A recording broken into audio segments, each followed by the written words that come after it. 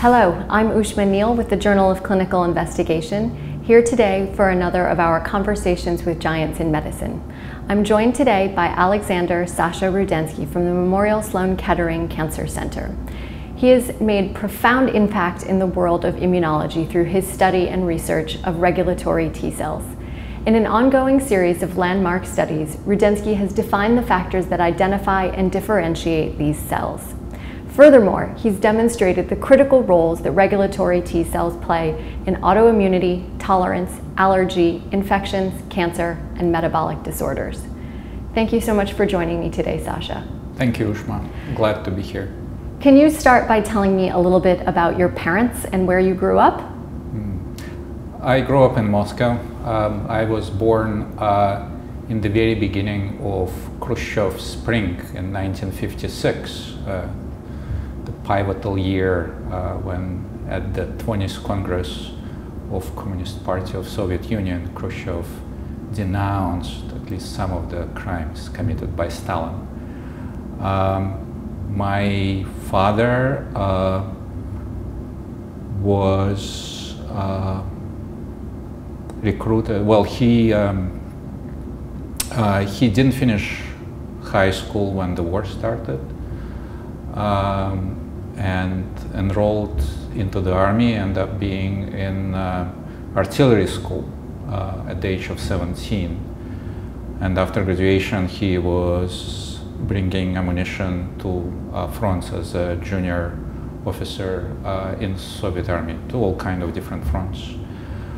Um, after the war, uh, he ended up being as a essentially bureaucrat working in Ministry of Interior uh, dealing with prisoners of war.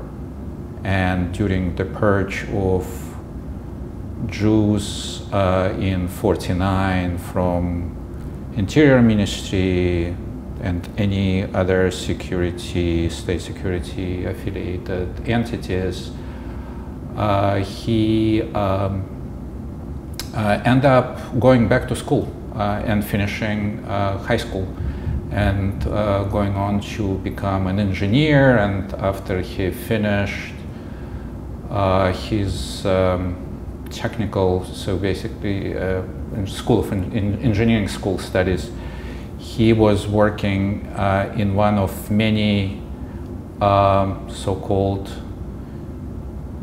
PO boxes, uh, enterprises. Um, dealing with development of weapons and missiles, and he was specifically involved in developing gyroscopes.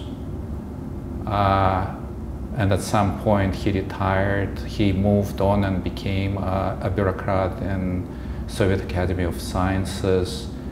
Um, and on the side, to make some extra income, he was editing uh, books and mathematics and physics, um, um, but mostly focusing on space flights and everything around uh, missiles, rockets.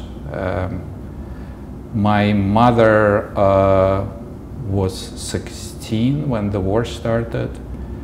Um, her family was evacuated and ended up in Ural Mountains where my grandfather died um, and left my grandmother and my mother and my uncle alone away from Moscow. So it was a difficult period. They came back uh, in 1944 to Moscow. She finished Moscow University Law School.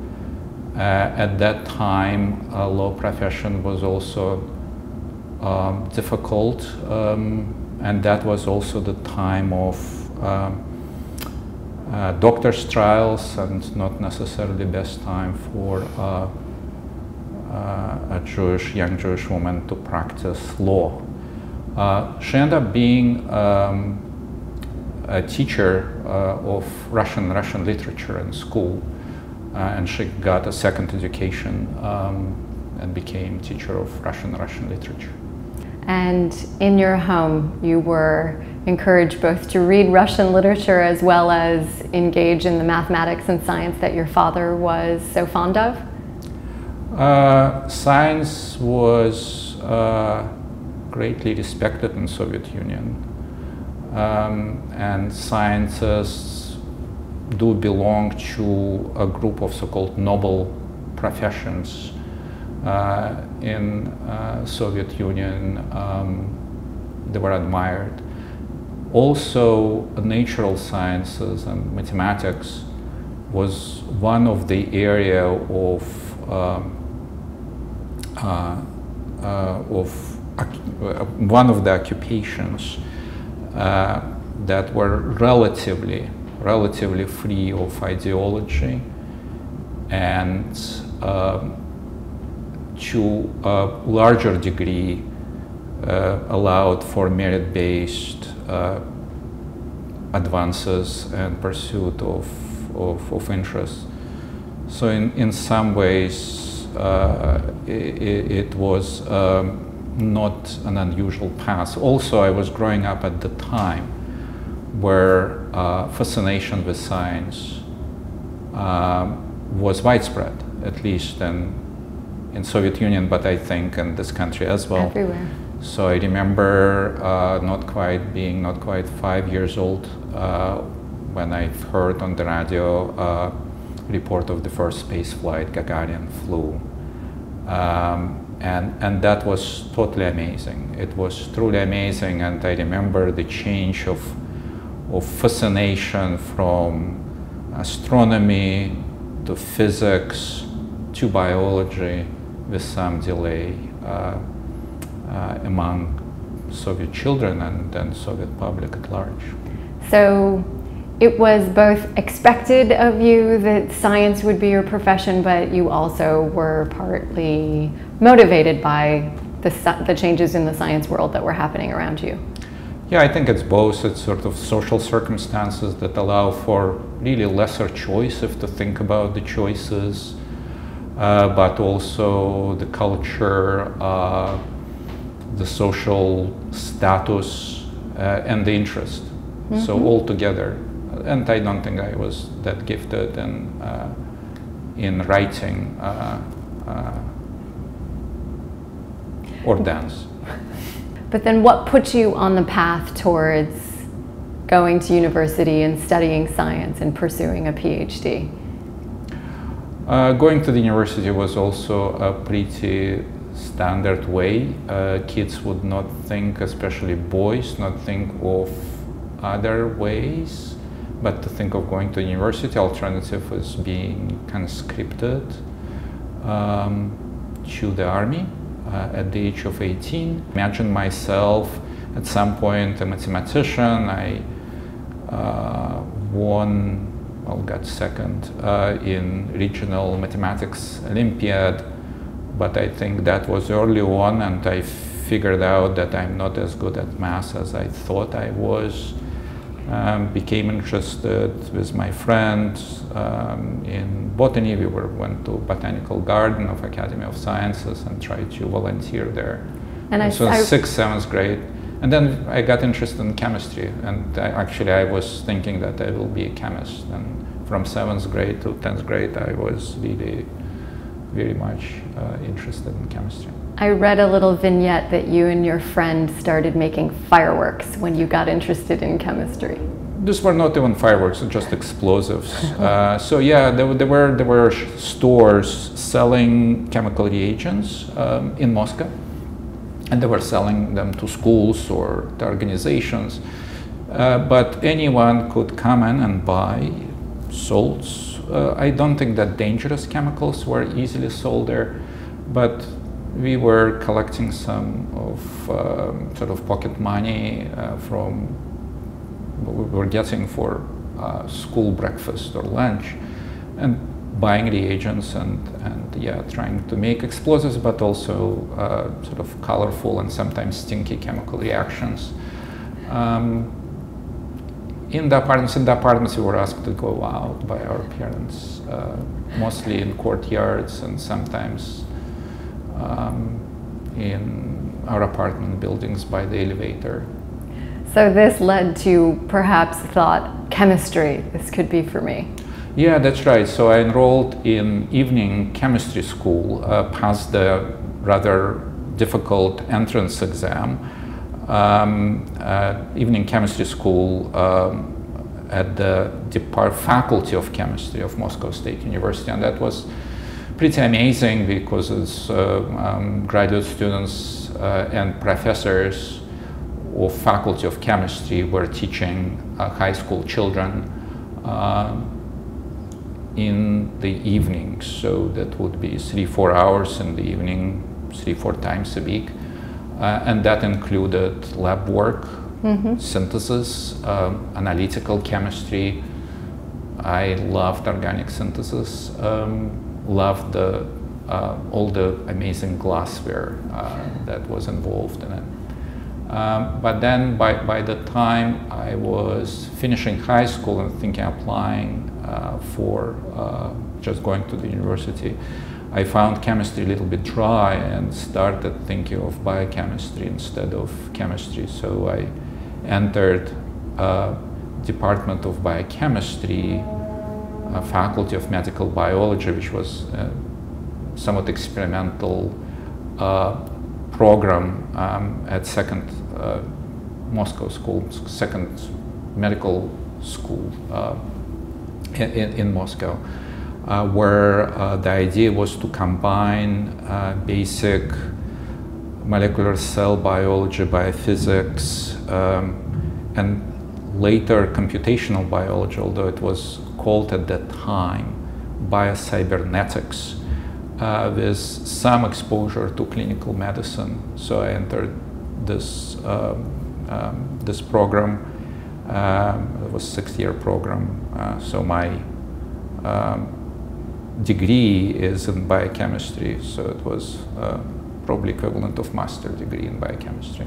Then what led to a PhD and how did you fixate on immunology for a PhD? Right, so well then next I found biochemistry a bit dry and towards the midst of my studies at the university and I, start, I worked one summer in immunology lab that was cellular immunology lab um, at the university and then the next uh, fall I uh, got in touch uh, with the head of immunochemistry lab in one of the research institutes of Academy of Medical Sciences in Moscow. And I started working uh, in the evenings and sometimes taking time uh, from uh, classes and summers and weekends. And then I did my uh, master thesis in, in this laboratory, and that was I mean, the chemistry laboratory. Uh, the project that I was involved aimed to map interaction sites of uh, uh, staphylococcal protein A with immunoglobulin molecule using enzymatic methods and methods of protein fractionation. So it was essentially biochemistry, but uh, focused on immune molecules. So that was closer to interest. But then, uh, then after I finished my master's degree, um, uh, this uh, person I was working with by the name Alexander Kulberg uh, wanted me to stay um, for graduate studies. Uh, that didn't work. I, I, was told that in part of it, sort of there was some kind of limits for um, um, Jewish um, uh, boys and girls uh, at some universities. And in the hindsight, it was very fortunate uh, because I end up working with Vitaly Yurin uh, and doing more sort of mainstream immunology rather than immunochemistry. And I was much happier in, uh, in, in, this, uh, in this area. So, what was the focus of your PhD?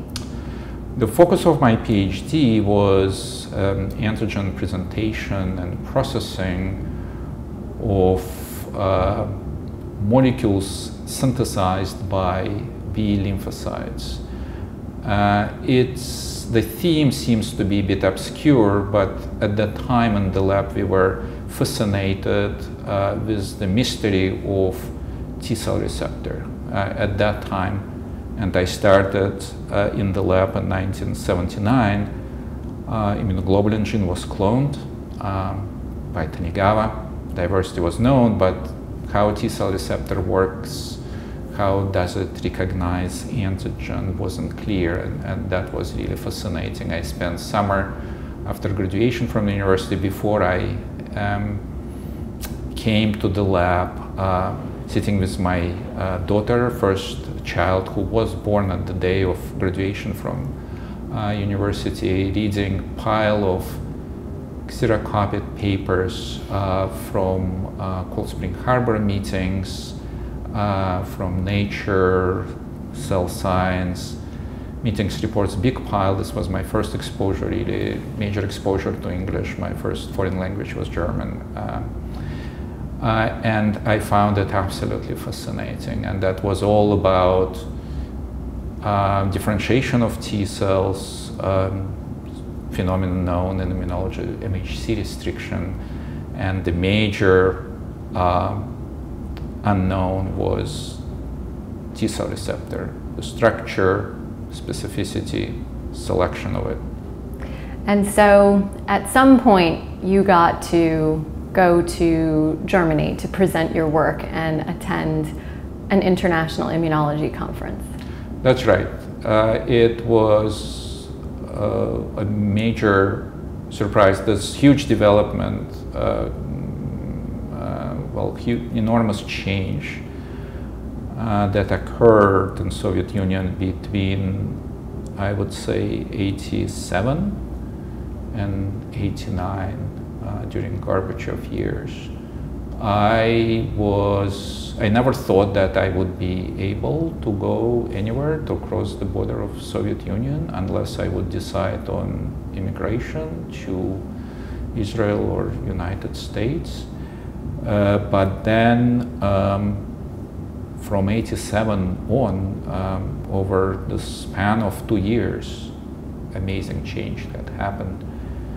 Uh, the borders became open, and it became possible to travel. So my trip to West Germany and West Berlin just before the fall of Berlin Wall in 89 was striking. That was my first trip to the West and before I only, I think in 86 I visited Bulgaria and as, as a part of a business trip where my passport was stolen and and the KGB officer in charge of the institute I was working at told me that my passport is in the hands of uh, uh, CIA and, and I would never cross the border or even come close to the border of Soviet Union. And that was 86. Gorbachev was already in power, so I, I thought I was convinced that it would never happen in my lifetime. Uh, but uh, life is full of surprises. So, what did that experience kindle in you? Was that the reason why you reached out to a faculty member in the United States to think about coming to the States for a postdoc? I went to uh, Berlin to the Congress and also I visited Max Planck Institute in Freiburg. At, uh, I was invited by Mikhail Reth, member of the institute whom I met when he visited Moscow. Um, and as a result, I was invited by George Köhler, late George Köhler, who was director of Max Planck. Uh, George uh, received Nobel Prize for his uh, invention, together with Cesar Milstein, of hybridoma, monoclonal antibody technology. So I, was invited to come to work in George's lab, and uh, that's what we wanted to, to do, to come uh, and first to, for myself to be exposed to much more diverse and exciting science to learn something else. And I thought we would go for a couple of years.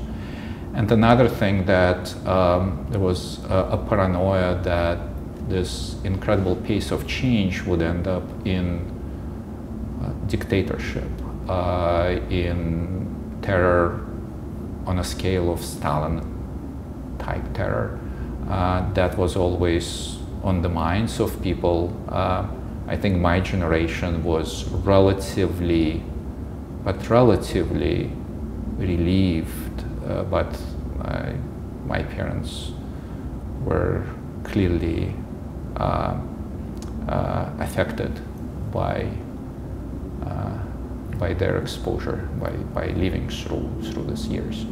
So uh, we thought that we will go for two, three years. Um, it will be fantastic experience and, and um, dust will settle. That was very stupid. Dust will settle and then we'll figure out, we'll come back. Uh, for some bizarre bureaucratic reasons, um, I was unable to get a working German visa um, to go with my family to work for two, three years in Germany with George.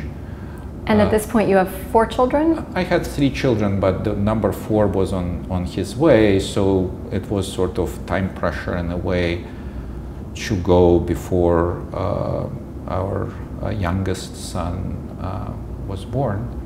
Um, so I wrote a letter to Charlie Janeway. Um, uh, he never met me, I never met him. Um, and uh, through a friend of mine who was at the time in Columbus, Ohio, and sent my letter to Charlie from Columbus. Uh, I was, he told me to call Charlie. So I called him, and um, first thing he said, "When do you want to come?" Which was uh, stunning.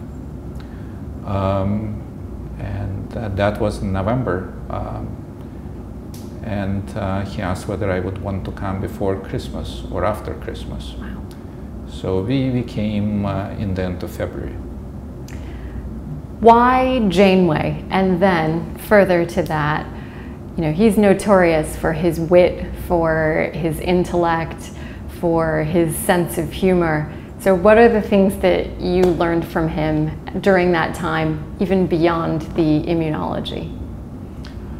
Um, it was great to, and it, it was enormous luck. It was really, uh, I was very lucky and very fortunate and very grateful to Charlie for taking risk that I don't know whether I would ever take um, of inviting someone he never met. Um, he may have seen a few papers that I published out of Moscow in the European Journal of Immunology which was unusual uh, for Soviet immunologists. Um, but may, I don't know, maybe he hasn't seen them, but he took a risk uh, um, in inviting me. I think besides uh, being a fantastic writer uh, and his writing and his reviews were the ones that attracted me, um, I think his unique feature was synthetic and very biological way of thinking of uh, immunological or biological problems, bringing in um, facts, findings, and concepts uh, from different areas of biology. So the, his fascination with generating new concepts and new ideas which were sometimes wrong, ought to be wrong, but sometimes they were so right and profound uh, that, that these ideas changed the way uh, modern immunology is uh, thinking of fairly basic principles, how immune system operates. And so you decided to move to Seattle for your first position. So, right. first off, why stay in the US? And second off, why the University of Washington? Well, I think the choices were either to go back to Moscow, um, but uh, I, at that time, actually, uh, our fears of potential oppression did materialize. There were, there was a coup. Um, Soviet Union stopped uh, being uh, stopped kind of big, big existence of Soviet Union uh, ceased ceased to exist, um, and 92 in Soviet Union in in post-Soviet Russia was extremely difficult time where people literally didn't have food and the way country and the directions country were go was going was not particularly appealing. So it's not that we decided that we'll stay permanently. I think that the fact that the realization that my family and I are going to stay in the United States uh, permanently came much, much later. We always felt like, well, maybe a few more years and then we'll see, maybe we'll go back at that time. So I, I don't think that there was any question in terms of science that staying in the United States is the way of staying in science. If we were to go back to Moscow, it's not for doing science, it's for other reasons family, culture, language, mm-hmm. um, loyalty. Uh, so I think there, there, was no question about it. Um, Seattle, um, I didn't. I didn't want to go for interviews in a way. Charlie one day brought a letter from Roger Perlmutter from University of Washington. Roger was chairman of newly established Department of Immunology. I think it started in '89. Um, uh, 90. Uh, to Charlie soliciting applicants uh, for assistant professor position. And uh, Charlie gave me this letter and told um, Roger that I will be a good candidate. And that was less than two, it, it was end of 91, so it was less than two years I've been in his lab. By that time I had two well-published papers. Um, and I gave a talk in Charlie's place at a meeting in Italy, uh, in Como, and um, I think a couple of people in attendance uh, took notice and also told Roger of that. So I, this was my first interview. I didn't, I was not inclined to go out for interview. I interviewed in Seattle. I interviewed also at NYU, uh, where I also got an offer but Seattle was amazing, was amazing city, uh, was amazing department, small young department, uh, but um, incredibly uh, exciting. So what did you set about studying once you did establish your laboratory there?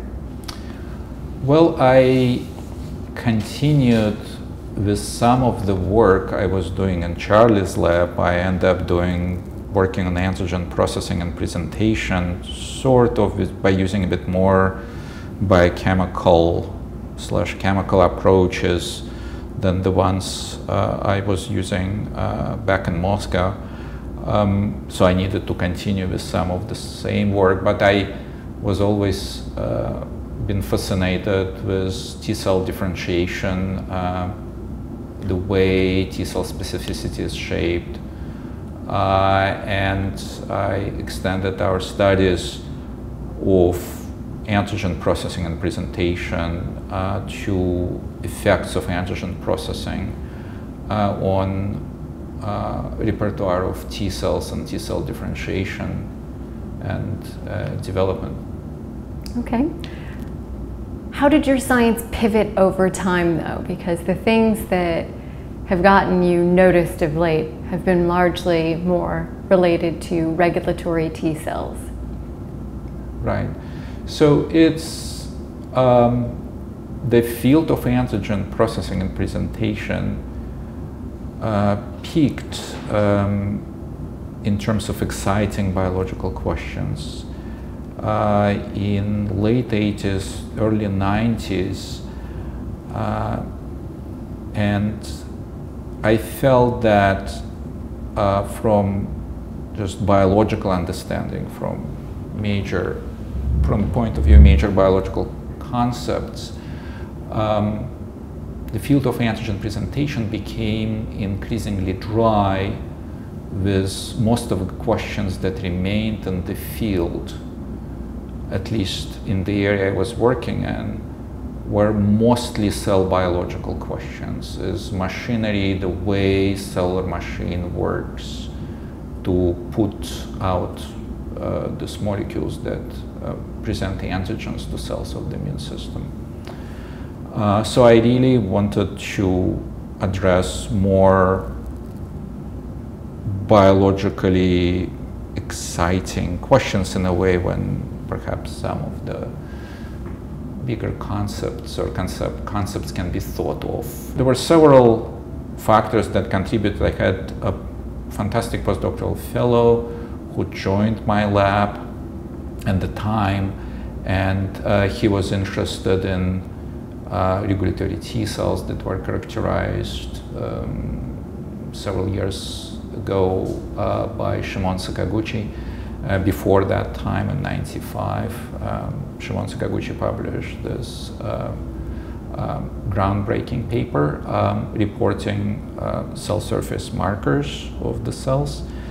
Um, and uh, so Marc was interested in the cells. It was Marc Gavin's first paper, um, study, and his studies, and then first paper on regulatory T cells that convinced us that the cells represent a distinct lineage of cellular differentiation and where we thought to start looking for specific mechanisms that um, govern their differentiation and, and function, genetic mechanisms. Mm-hmm. Say we would, with the idea that if we find genetic mechanism of differentiation and function of the cells, uh, then we would be able to understand exciting biology. And biology was exciting because I think um, this phenomenon of regulation of activity of cells of the immune system by a dedicated population of cells uh, represents sort of un, unparalleled negative principle of negative regulation in biology. Is there anything that regulatory T cells can't do? Because for the last, I guess, 20 years now, you've been discovering a multitude of things that they do. Their involvement in maternal fetal tolerance, their involvement within infection and autoimmunity, now within cancer, metabolic diseases, the communication with the microbiome. So, is this all just low hanging fruit, or is there more yet to come from Tregs? Uh, probably more. I, th I think that um, what what we don't know is um, is is the way different cell types um, of different systems uh, that is cells belonging to the immune system uh, connective tissue uh, parenchymal cells neurons uh, interact with each other in a complex environment of an organ and tissue during organ development, during um, changes in um, physiological function or in disease. Uh, and that, I think, represents a major uh, problem uh, that need to be understood, means of communication, uh, bringing this together with new knowledge, with new tools, uh, with rather deep understanding of individual cell type, bringing together into the context of, say, 19th century physiology, physiology of an organism, physiology of organ. What is your approach to mentoring? So I took the trouble to speak with a couple of your current and former trainees, and the first thing that they all said was that you're the best mentor that they've ever had. So what is it that makes your trainees so devoted to you? I bribe them. Uh, no. Uh, so I, my approach is, is a midwife approach. Uh, so I um, I'm trying to help, but not to, uh, but uh, not to intervene and interfere with their own growth. I'm trying to give them as much uh, intellectual and experimental space um, as as they can handle. Um, and just with questions um, and discussions try to facilitate their own process and their own growth. Um, I believe that um, at the stage of uh, postdoctoral fellows in particular, but also graduate students, uh, I think independence, independent thinking, ability to take initiative uh, and to think big is, uh, is the key for their success. One of your former trainees specifically mentioned the fact that you are better read than any of the rest of them, better traveled, more cultured. You mentioned your love of opera. So clearly, your dedication to science has not kept you from a passion for other things. I'm afraid this is, uh, to a large degree, baggage from my uh, years in Soviet Union, uh, because I, I think the professional life or even scientific life was less intense uh, in terms of demands of time. Uh, you can spend all your time thinking of scientific problems, but if you don't spend all your time, but you read, say, philosophy books uh, or history books or um, um, became interested in architecture um, or um, Chinese history, you were able to do it and still sort of succeed on some scale. I think the intensity of professional life in the United States, in particular, uh, does uh, put so much pressure on practicing scientists, especially young scientists, that there is a danger of people growing more one-dimensional in a way. Uh, but it's, I think it's very enriching to be more well-rounded and be aware of literature and music. Absolutely and agreed. Yeah. If you could not be a scientist, what other career do you think would have kept you so dedicated? counselor. Why? Um, I like people. Thank you very much for joining me today, Sasha. I really appreciated hearing a little bit more about your background and your motivations. Thank you, Ushma.